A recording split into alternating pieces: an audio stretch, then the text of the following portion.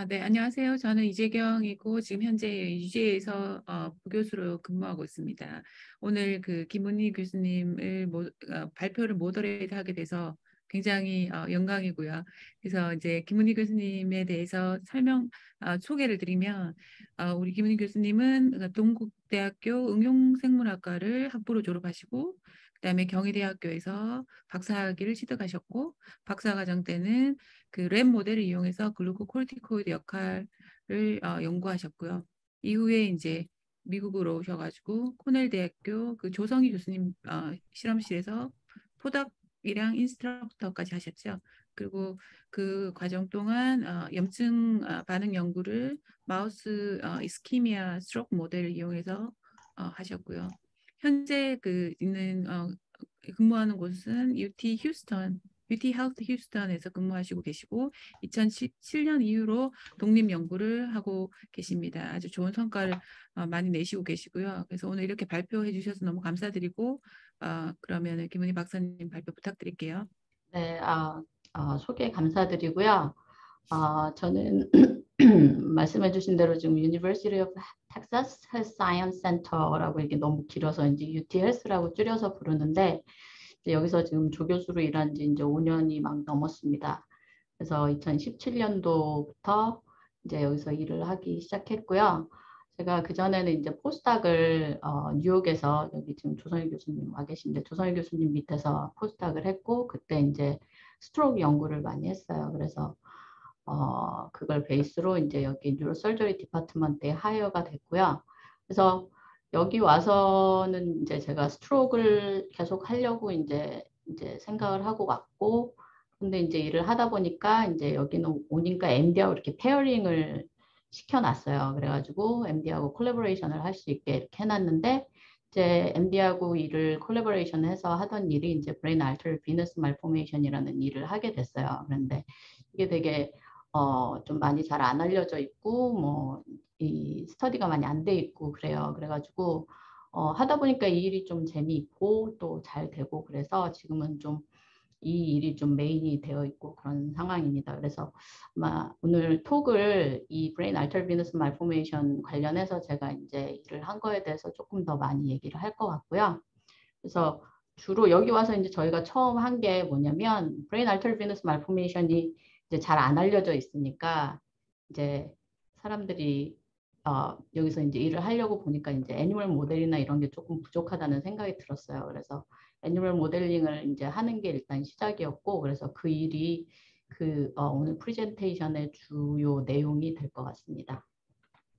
그래서 어, 저는 이제 여기 와서 Cerebrovascular Research Lab을 이제 어, 오픈을 했고요. 그래서 이제 brain AVM하고 stroke를 주로 연구를 하고 있고 어, 모두들 많이들 그러시겠지만 이제 저의 그 ultimate goal은 이런 disease를 어떻게 하면 treatment를 할 수 있는지 그런 어, 어, 우리가 treatment를 할 수 있는 어떤 factor들을 찾아내고 뭐 그렇게 할 수 있는 게 저, 저희들의 그 ultimate goal입니다. 그래서 clinical research에서 이제 우리가 이제 human study에서 우리가 어떤 거를 어, 배워서 그거를 어, 마우스 모델에 적용을 시켜서 우리가 조금 더 이제 mechanistic하게 연구를 할 수 있고 그런 다음에 이게 다시 이제 translation을 어, 어, 하게 이제 그 human에게 적용이 될 수 있게 저희가 이제 어, 방향을 그런 식으로 잡고 일을 하고 있어요. 그래서 어, 지금 아까 말씀드린 대로 저, 저의 주요 이제 프로젝트는 brain arteriovenous malformation, brain AVM이 어떻게 이제 어, 병변이 진행이 되고 그에 관련된 메커니즘이 뭔지를 공부를 해서 어, 알아내서 어, target molecule을 찾아낼 수 있는지 그런 쪽으로 일단 연구를 진행을 하고 있고요. 두 번째는 이제 어, stroke에서 특히 이제 diabetes가 stroke에 되게 중요한 comorbidity 중에 하나인데 이 diabetic stroke에서 어, 어, stress response가 어떤 영향이 있는지 이런 쪽으로 연구를 하고 있습니다. 그래서 첫 번째로는 제가 brain AVM 관련된 프로젝트에 대해서 먼저 말씀을 드리겠습니다. 그래서 brain arteriovenous malformation에 대해서 잘 모르시는 분들 많으실 건데요. brain arteriovenous malformation이라는 게 그러니까 혈관 기형이에요. brain에 생기는. 이제 artery하고 vein이 어, capillary로 이렇게 연결이 돼 있어야 되는데 이게 여기 보시는 것처럼 이렇게 이상하게 이렇게 막 꼬여 있는 그리고 되게 tangle됐다고 사람들이 표현을 하거든요. tangle된 이런 vessel로, abnormal한 vessel로 연결이 돼 있는 거예요. 그래서 이거 자체가 이제 문제가 되지는 않을 수도 있어요. 그래서 어떤 사람은 brain AVM이 있어도 죽을 때까지 모르고 그냥 죽는 사람들도 있을 거예요. 근데 이게 이제 어떤 사이 어, 어떤 그 어, symptom을 나타내기 시작하면 이제 그게 문제가 되는 거고 그래서 이게 되게 rare disease인데 보시면은 10만 명 중에 15명 정도가 이런 어, 혈관 기형을 가지고 있어요. 그리고 이게 congenital하다고 얘기를 하거든요. 그러니까 이 brain AVM을 가지고 태어나는 거예요. 그런데 또 재미있는 거는 이게 family history는 또 없는 경우가 많아요. 그래서 95%는 family history가 없고 5% 정도만 이제 family history가 있는 경우가 많이 있고요. 그래서 이렇게 sporadic하게 이제 생기는 경우가 많고 그리고 이렇게 이제 생기면 뭐 말씀드린 대로 여러 가지 이제 symptom이 있을 수 있는데 뭐 seizure라든지 뭐 headache 같은 거 생길 수 있고 저도 그래서 migraine이 많아가지고 가서 한번 brain AVM이 혹시 있나 이렇게 한번 체크를 해봐야 되지 않을까 막 이런 생각도 가끔 제가 합니다. 어쨌든 그래서 이런 symptom이 있을 수 있고 뭐 그런데 제일 이제 안 좋은 경우가 이제 이게 이제 hemorrhage가 생기는 경우예요. 왜냐하면 이게 이제 capillary의 중요한 역할 중에 하나가 이제 뭐 nutrition을 뭐 이제 tissue에다 각각 공급을 하고 악시젠을 공급을 해주고 뭐 이러는 게 있지만 이제 artery에서 들어오는 되게 이제 pressure가 높은 blood를 이제 그 capillary를 통과를 하면서 이게 이제 pressure가 낮아져서 vein으로 들어가야 되는데 brain AVM은 이제 그런 역할을 잘 못 해주는 거예요. 그러기도 하고 그리고 brain AVM 자체가 되게 이렇게 어, vessel이 이렇게 좀 잘못 만들어지다 보니까 어, 좀 약한 부분도 많이 있을 수 있고 그, 안, 그 안에 그래서 이게 rupture가 잘 되는 것 같아요. 그래서 통상 이 brain AVM이 있는 환자 중에 한 30% 정도는 rupture가 생길 수 있는 거예요. 이제 life span에. 음, 어, 그, 그 정도가 이제 brain AVM이 rupture가 될 수 있는 그런 상황이 되는 어, 그런 상황이 됩니다. 그래서 이 어, hemorrhage가 생기는 경우가 제일 이제 안 좋은 그런 케이스죠. 그래서 ischemic 어, 그러니까 말하자면 그 hemorrhagic stroke 이제 생겨서 환자들이 이제 많이 병원으로 오게 되는데 이제 이게 brain AVM이 그래서 어 그 특히 young patient들 중에 그러니까 40살 이전에 어, 환자들 중에서는 brain AVM이 rupture가 돼서 이제 hemorrhagic stroke가 돼서 오는 경우가 되게 많다고 얘기를 해요. 그래서 이게 그렇게 young patient들에서는 leading cause 어, 어, hemorrhagic stroke라고 얘기를 합니다. 그래서 어 이게 이제 뭐 이거를 치료를 그럼 지금 어떻게 하고 있냐면 이렇게 surgery를 해서 이렇게 리무브를 하는 게 지금은 제일 좋은 방법으로 지금 사용이 되고 있고요. 뭐 radiation도 하고 embolization 같은 것도 하고 뭐 이렇게 하는데 이렇게 surgical한 method가 항상 가능한 게 아니에요. 왜냐면 이게 되게 deep brain에 있을 수도 있고 그래서 surgery를 할 수가 없는 경우가 많이 있어서 이 brain AVM을 어떻게 치료할 수 있는 어떤 약이나 뭐 이런 거를 개발을 하면 좋은데 아까 말씀드렸지만 이게 sporadic하게 생기는 경우가 많고 어, 이 어, family history가 없고 그런 경우가 많기 때문에 아직까지 이렇게 정확한 최근까지도 이게 정확한 이 원인을 사람들이 알 수가 없었어요. 이 brain AVM이 왜, 왜 생기는지. 그래서 이제 제가 이제 여기 와서 어, 여기까지 이제 알고 사실은 저도 brain AVM이 뭔지 잘 모르고 있다가 이제 여기 와서 이제 공부를 하면서 이런 것들을 이제 알게 됐는데 저는 preclinical study를 하니까 이 brain AVM을 연구를 하려면 마우스 모델이 일단 있어야 되겠다 이런 생각을 하게 됐거든요. 그래서 마우스 모델을 이제 어, 얻으려고 되게 이제 노력을 했어요. 근데 아까 말씀드렸지만 이 familial history가 있는 그런 어, 경우가 있기 때문에 그, 그 factor들 중에 하나가 뭐냐면 endoglin하고 ALK1이라는 그 TGF beta signaling 관련된 molecule들이 있어요. 그 molecule들의 defective 됐을 때 이 brain AVM이 어, 이제 생기는 경우가 있기 때문에 그 어, factor를 이제 modulation 해가지고 모델을 만들어서 쓰는 brain AVM 모델을 만들어서 쓰는 경우가 있습니다. 그런 그 모델을 쓰는 게 제일 어, common한 것 같았어요. 그래서 어, 그 모델을 가지고 있는 분들한테 contact을 해가지고 animal 모델 이제 얻으려고 이렇게 노력을 하고 있었는데 그러는 와중에 이 paper가 나왔어요. somatic KRAS mutation in human brain AVM이라고 그러니까 소메리 KRAS 뮤테이션이 휴먼 브레인 AVM에서 이제 발견이 됐다는 그런 논문이에요. 그래서 이 논문의 내용이 뭐냐면 어, brain AVM에서 이제 그 genetic 어, analysis를 해봤더니 KRAS 뮤테이션이 약 60% 이상의 brain AVM에서 이제 하나 하나 그러니까 음, KRAS mutation 종류가 뭐 여러 가지가 있잖아요. 근데 한 종류의 KRAS 뮤테이션이 발견이 되는 거예요. 그 어, 그러니까 한 종류 여러 종류의 KRAS 뮤테이션이 발견이 됐는데 이제 그 중에 하나씩이 brain AVM에서 어, 60% 이상의 brain AVM에서 하나씩은 발견이 되는 거예요. 그래서 어, 어, 이 paper에서는 세 가지 종류의 이제 KRAS 뮤테이션을 발견을 했는데 KRAS G12D, 어, G12V 그리고 H 64C인가 뭐 이렇게 예, 발견이 됐어요. 그래서 어, 이 paper를 기반으로 해서 어, 저희가 그러면 케라스 뮤테이션이 그러면 브레인 ABM을 코우즈하는 어떤 역할을 할 수도 있지 않을까 그런 생각이 들더라고요. 마침 어, 마우스 모델을 얻기가 되게 이제 사람들이 이렇게 잘 어, 그거를 마우스 모델을 share하기를 조금 꺼려하는 것 같기도 했고 뭐 그런 그리고 또 이 저희가 얻으려고 했던 마우스 모델이 어, 말씀드린 대로 이제 95%는 이제 sporadic인데 이제 5%만 그, 그 어, family history가 있는 그런 그런 어, 케이스를 말하자면 표현하는 그런 마우스 모델이었기 때문에 저희가 만약에 이 KRAS mutation을 어, 가지고 마우스 모델을 만들 수 있다면 좋겠다 이런 생각을 하게 됐어요.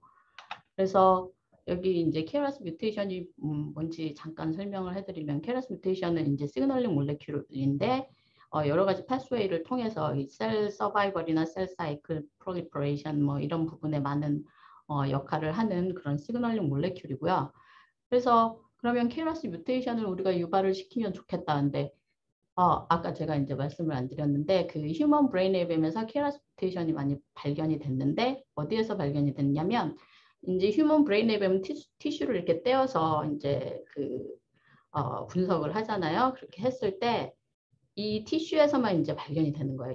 이 환자들한테서 이제 blood를 뽑아서 blood에서도 이제 analysis를 해봤을 때 blood에서는 이 KRAS mutation이 나오질 않았어요. 그러니까 tissue에서만 나오는 걸 보니까 아 이게 지금 그러면 이렇게 local하게 이제 KRAS mutation이 있는 거고 어, 이 사람들이 분석을 했을 때 이게 endothelial cell에서만 발현이 된다는 거를 어, 알게 됐어요. 그래서 아 그러면 이제 우리가 이 KRAS 뮤테이션을 엔도텔리얼 셀에다가 발현을 시키면 어, 이 brain AVM이 생길까 이런 이제 question을 갖게 됐죠.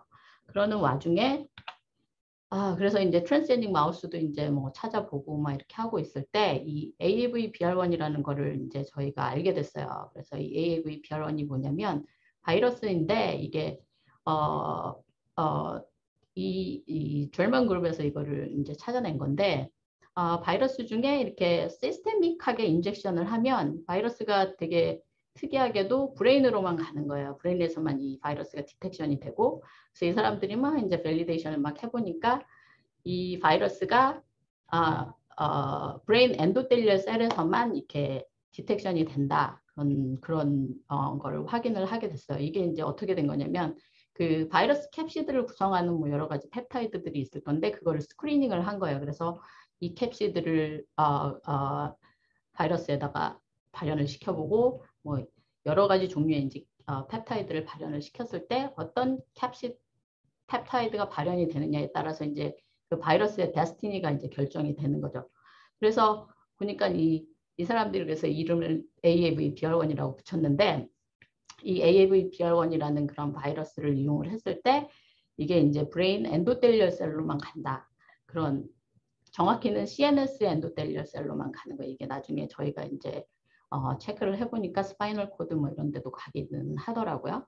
그래서 어쨌든 이렇게 systemic하게 injection을 해줬을 때 이제 primary brain endothelial cell로 많이 어, injection이 되는 거를 저희가 확인을 했어요. 그래서 이 AAV BR1을 이용을 해서 여기에다 KRAS 어, mutation을 붙여서 어, 쥐에다가 injection을 해주면 어, brain AVM이 생길 수 있을까 이제 이런 생각을 하고 어, 쥐에다가 이제 이 바이러스를 만들어서 쥐에다가 저희가 injection을 해봤습니다. 했더니 이제 쥐에 이제 injection을 해서 저희가 validation을 한 데이터들인데요. 보시는 대로 이제 GFP를 달아서 injection을 했을 때 vessel에만 이렇게 잘 어, 어, staining이 되는 걸로 봐서 brain endothelial cell에 잘 어, 어, transduction이 일어나는 걸 저희가 확인을 할 수 있었고 다른 장기들에서는 그렇게 어, GFP가 많이 발견되지 않았습니다. 그래서 이게 specific하게 brain endothelial cell에 많이 가는 걸 확인을 할 수 있었고요. 이거는 이제 western 데이터로 저희가 이 KRAS mutation이 그러니까 저희가 타겟 진을 넣었을 때 이게 제대로 발현이 잘 되는지 어, 확인을 한 거고요. 그래서 그렇게 injection을 해줬더니 어, 여기 데이터에서 보시는 대로 어, 정말 nice하게 이, 이거는 이제 control mouse고요. 이게 저희가 KRAS G12V라는 KRAS mutation을 저희가 달아서 injection을 했거든요. 그렇게 했더니 여기 지금 보시는 대로 되게 이상한 vessel들이 생기더라고요. 그래서 저희가 자세히 보면 모양이 되게 지금 human brain AVM하고 좀 비슷한 그런 phenotype을 보였고요. 이거는 어, brain AVM이 생기는 부분들이에요. 근데 좀 재미있게도 이 olfactory bulb 부분에 많이 생겼어요. 그리고 좀 랜덤하게 뭐 여기저기 많이 생기는데 어, 이 브레 어, olfactory bulb가 제일 어, 많이 생기는 부위였고 그리고 다른 장기들에서는 이상한 어, 뭐 vessel brain AVM 뭐 abnormal한 vessel formation이 관찰되지 않았습니다. 그래서 어, 여기까지 저희가 되게 excited 됐죠. 왜냐면 아 우리가 어, 이렇게 이 방법을 통해서 어, brain AVM 모델을 만들 수 있구나 이런 생각을 하게 됐고요. 그리고 이 방법 자체가 조금 되게 심플했어요. 그냥 바이러스를 그냥 systemic 하게 injection을 해주고 그리고 뭐 이게 8, 8주 있다가 이제 저희가 어, 그 vessel을 체크를 해본 건데 어, 되게 relatively 좀 easy하게 brain AVM이 생기고 사실은 다른 lab에서 이 KRAS mutation을 가지고 이제 brain AVM을 만든 그런 일을 같이 하고 있었는데 저희가 같이 한 건 아니지만 이제 그쪽에서 이제 따로 하고 있었는데 음, 기회가 돼서 그 사람들이 이제 프레젠테이션을 하는 거를 제가 볼 수 있었는데요. 어, 그 brain AVM phenotype이라고 이렇게 보여주는 게 조금 제가 보기엔 그냥 이렇게 vessel이 되게 dilate 돼 있고 뭐 그렇지만 이렇게 막 tangled 돼 있고 막 우리가 보여주는 것 같이 되게 어, human phenotype처럼 보이지는 않더라고요. 그래서 우리 마우스 모델이 좀 어, 이 방법으로 만드는 마우스 모델이 좀 좋은 게 아닐까 이런 생각을 조금 하게 됐고요. 근데 이제 다음에는 이제 brain AVM 그래 phenotype은 좀 brain AVM 같이 생겼는데 이게 brain AVM의 어떤 어, 여러 가지 pathology를 같이 가지고 있는지 저희가 체크를 해봐야 되겠다 생각을 했습니다. 그래서 아 이거는 이제 저희가 그 brain AVM을 좀 non-invasive하게 detection을 하면 좋겠다 싶어서 이제 MRI랑 MRA를 좀 setup을 해봤었는데요. 보시는 것처럼 지금 어, 이건 normal brain인데 이제 뭐 vessel이 깨끗하게 잘 보이죠. 그런데 여기 보시면 이게 이제 brain AVM 마우스 모델에서 이렇게 brain 어, tangled 된 그런 abnormal vessel이 MRA로 MR 엔지오그래피로 저희가 이제 체크를 할 수 있었고 이 방법이 조금 필요한 게 저희가 나중에 이걸 treat을 했을 때 아까 말씀드렸지만 brain AVM이 좀 랜덤하게 생기잖아요. 그런데 저희가 이제 어, 한 마리 안에서 트윗을 하기 전하고 후를 비교를 할 수 있으면 좋겠다. 이제 한 마리에서 왜냐면 이제 저희가 brain AVM이 어디 있는지 이제 확인을 할 수 있으니까 그래서 어, 이 어, 이렇게 non-invasive하게 brain AVM을 이제 chase할 수 있는 방법이 조금 더 이렇게 잘 develop이 되면 좋겠습니다. 지금은 약간 resolution이나 이런 게 약간 제 기대에는 조금 못 미쳐가지고 아직 계속 develop을 하고 있는 그런 상황이고요. 그래서 이제 저희가 여러 가지 pathology를 이제 조금 체크를 해봤어요. 그래서 보시는 대로 이제 brain AVM의 제일 큰 어, 어, 문제는 이제 hemorrhage가 생기는 건데 여기 보시는 것처럼 brain brain AVM에 있는 그런 부위에 hemorrhage가 많이 생기는 걸 저희가 볼 수 있었고 이거는 latex casting한 그 부위에도 이렇게 hemorrhage 같은 게 있고 H&E staining을 통해서도 이제 그렇게 확인을 할 수 있었고요. 두 번째는 이제 brain AVM이 어, angiogenesis하고 관련이 많이 돼 있어요. 그리고 아까 말씀드렸듯이 그 familial 어, gene을 가지고 brain AVM을 만들었을 때 그 쥐의 가장 큰 단점 이라고 말씀을 드려야 되나 잘 모르겠는데 그게 뭐였냐면 어 그냥 그 gene만 이렇게 mutation이 됐을 때는 생기지 않고 거기에 어 VEGF를 overexpression을 시켜줘야지 그 brain AVM phenotype이 생긴다는 거였어요. 그래가지고 근데 이제 저희는 그냥 KRAS mutation만 overexpression을 시켰는데 지금 brain AVM이 생긴 거잖아요. 그래서 그 안에 그러면 VEGF overexpression이 좀 중요할 것 같은데 VEGF 시그널링이 그럼 좀 어, 이 KRAS mutation 자, 자체로 이 엔도지너스한 VEGF 시그널링이 signaling이 좀 activation이 되는 게 아닐까 이런 생각을 하게 돼서 이제 VEGF signaling 관련된 molecule들을 이제 저희가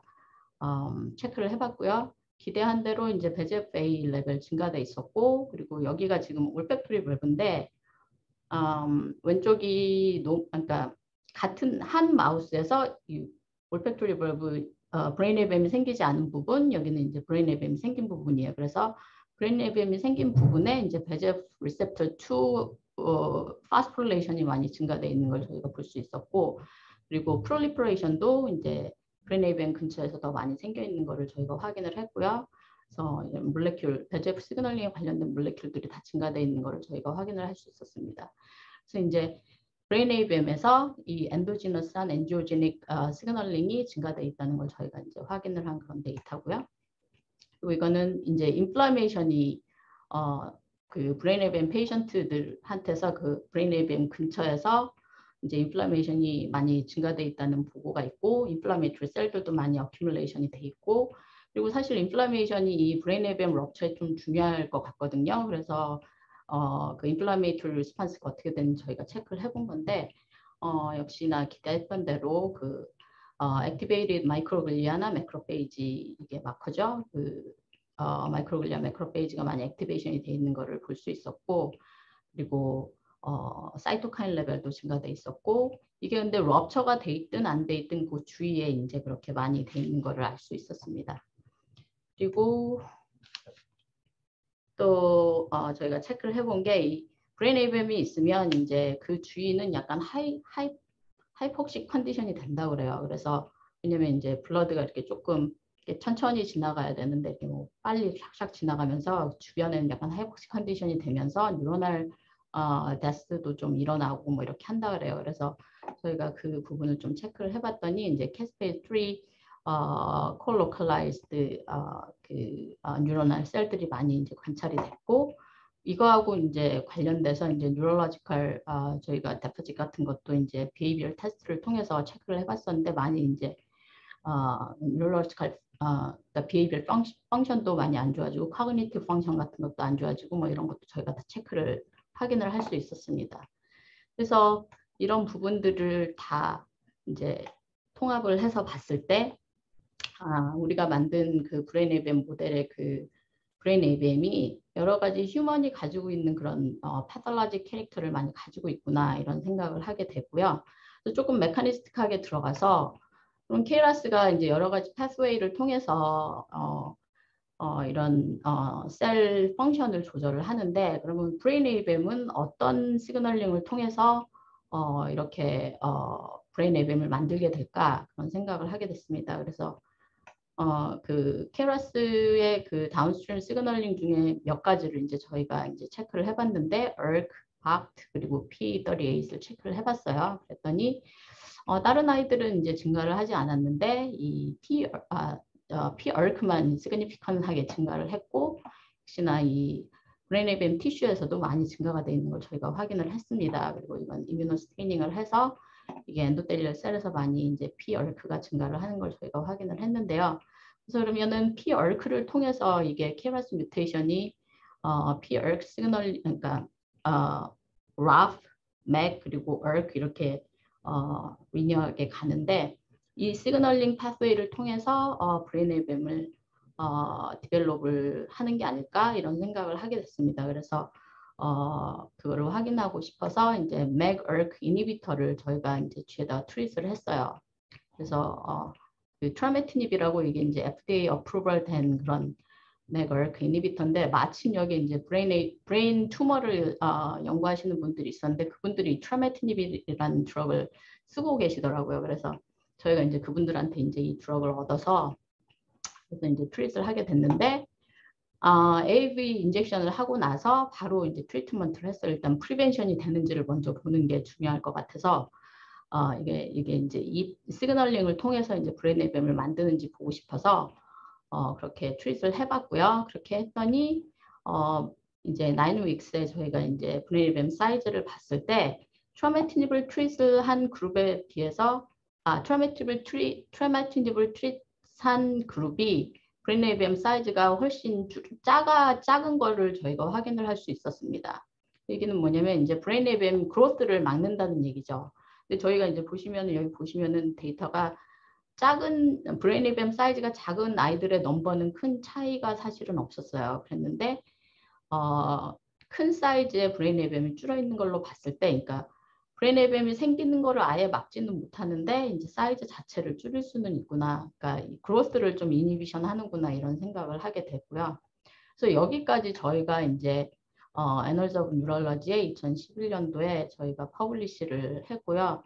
어, 저희가 nice하게 이 커버를 저희가 장식을 할 수 있었습니다. 그래서 지금 ongoing 프로젝트로는 어, KRAS signaling을 저희가 그럼 어떻게 inhibition을 할 수 있을까 뭐 이런 생각을 지금 좀 하고 있고요.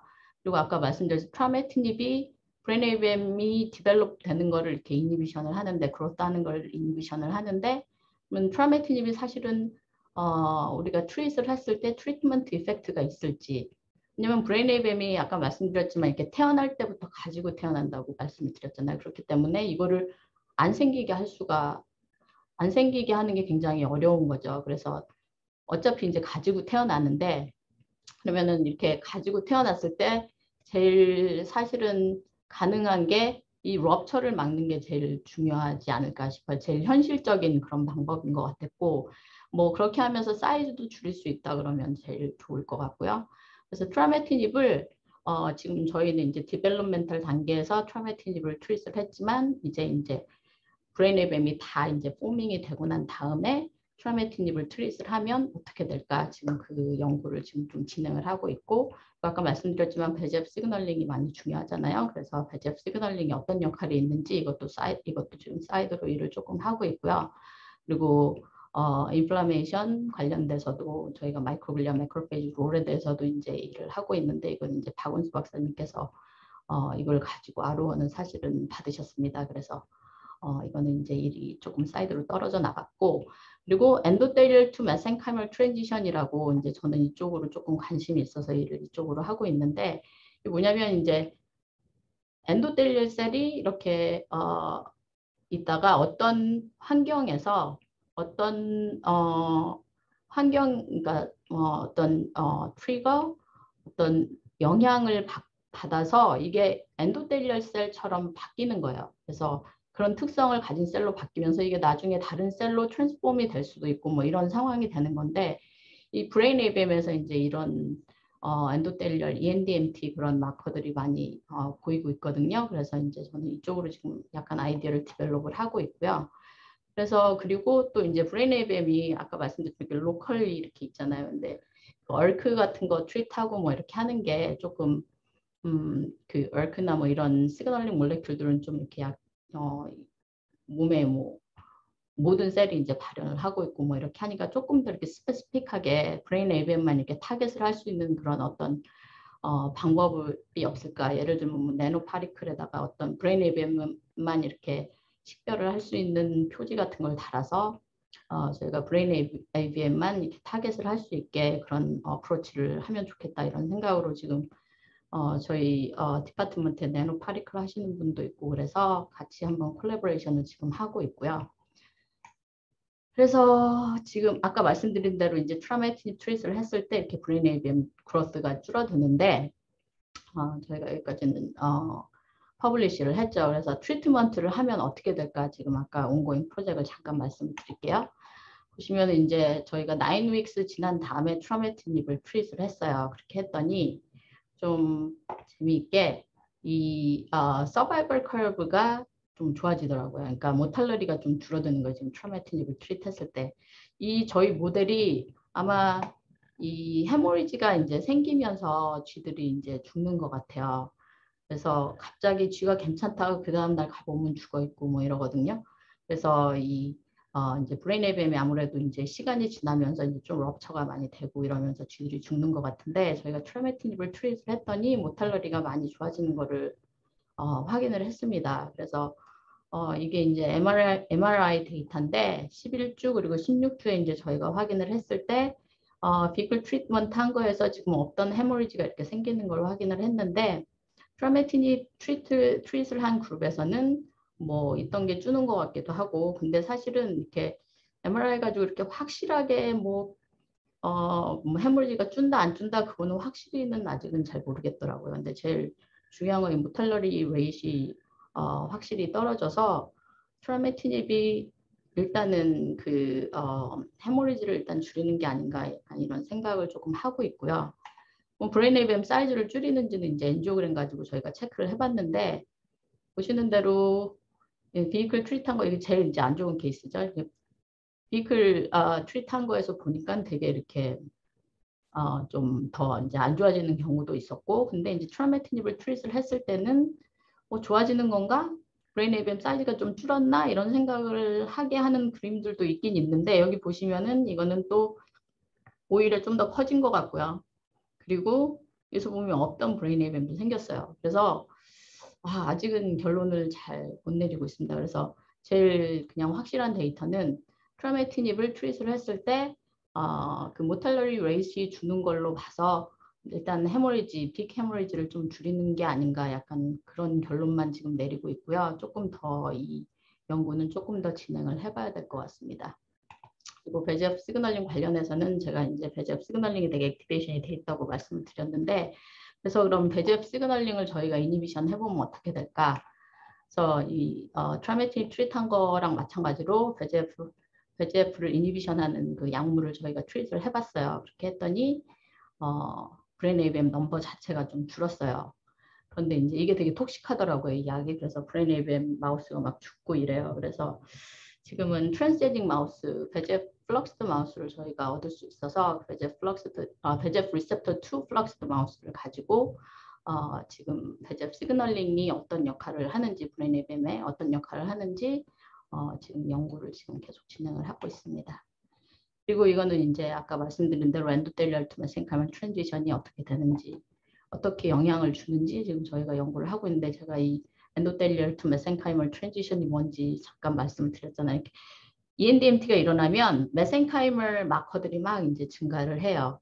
그리고 어, endothelial phenotype이 좀 줄어들고 그래서 저희가 이 mesenchymal marker들이 지금 brain AVM에서 어떻게 되는지 먼저 찾아봤거든요. 그러고 있는 와중에 이제 paper들이 막 나오더라고요. 그래서 보시면은 human에서 이 엔도텔리얼 메센 ENDMT 마커들이 막 보인다는 그런 어, 이런 어, reference들이 이제 있어요. 그래서 저희 마우스 모델에서 저희가 봤더니 이 CD44 얘네들이 다 이제 EndMT marker들이거든요. 그래서 얘네들이 다 증가되어 있는 걸 확인을 했고 endothelial cell에서 이제 이런 marker들이 보인다는 걸 확인을 했고 저희가 이 어, 그래서 이 control tissue하고 brain AVM tissue를 떼어서 아, 싱글스 RNA 시퀀싱을 해봤습니다. 그렇게 해서 근데 EC 어, 클러스터에서 메센칼면 마커 그리고 ENDMT 마커, 어, endothelial marker, 뭐 junctional marker 이런 거를 확인을 했을 때 메센칼면 마커들이 증가되어 있는 경우가 많이 있는 걸 확인을 할 수 있었습니다. 그리고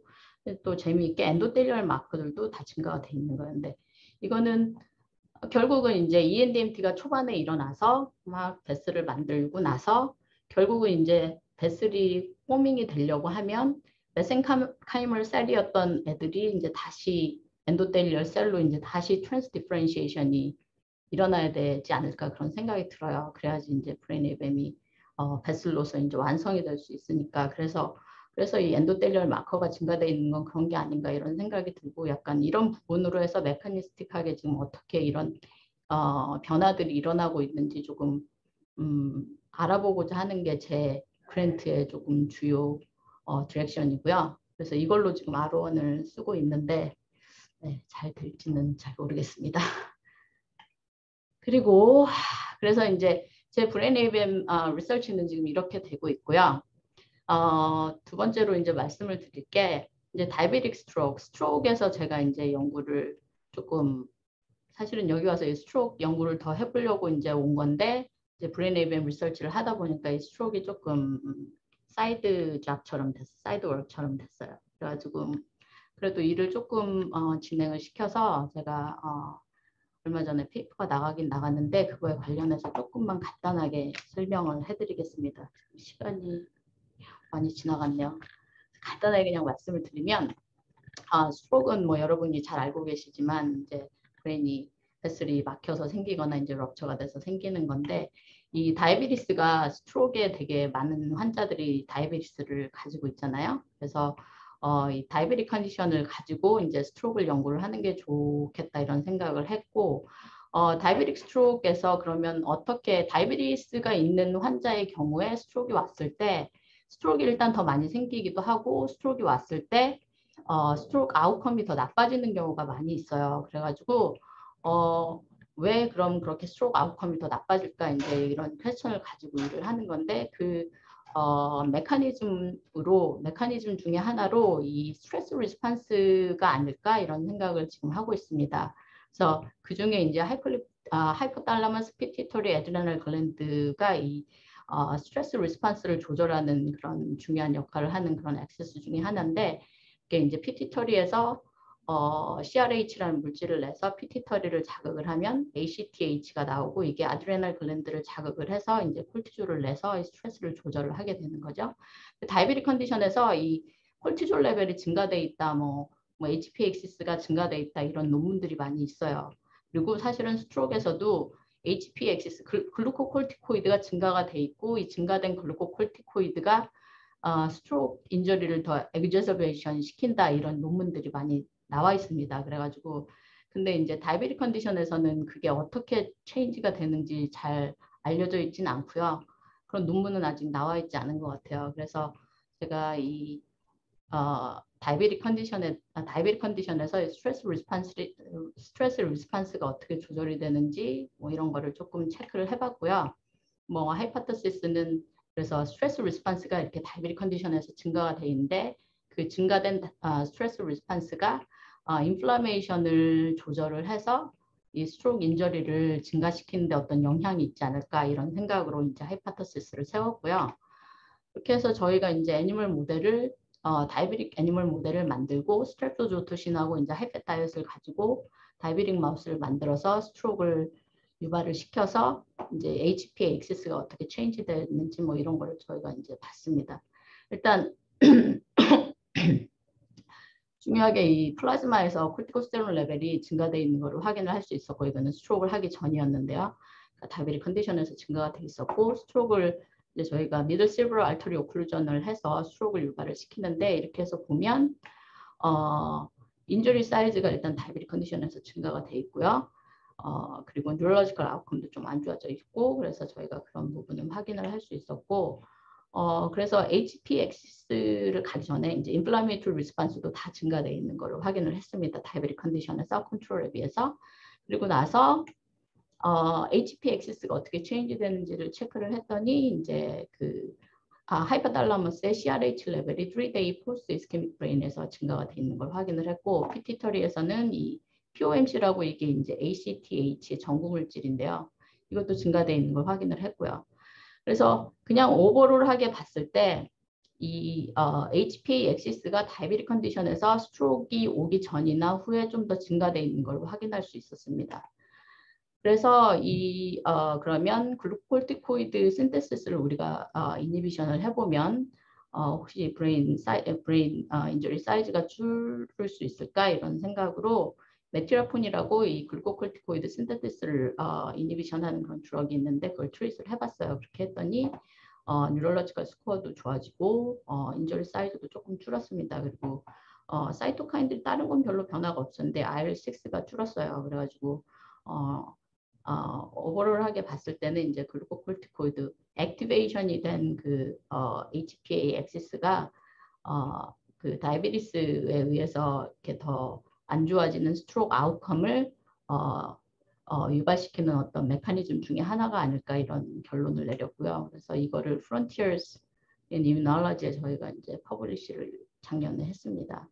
여기서 이제 조금 더 나가서 어, 어떻게 그러면 HPA axis가 좀 더 관여를 좀 디테일하게 들어가야 되는데 지금 brain AVM에 조금 제가 study를 조금 더 포커스를 해서 하고 있다 보니까 이 study는 지금 많이 진행이 안 되고 있고요.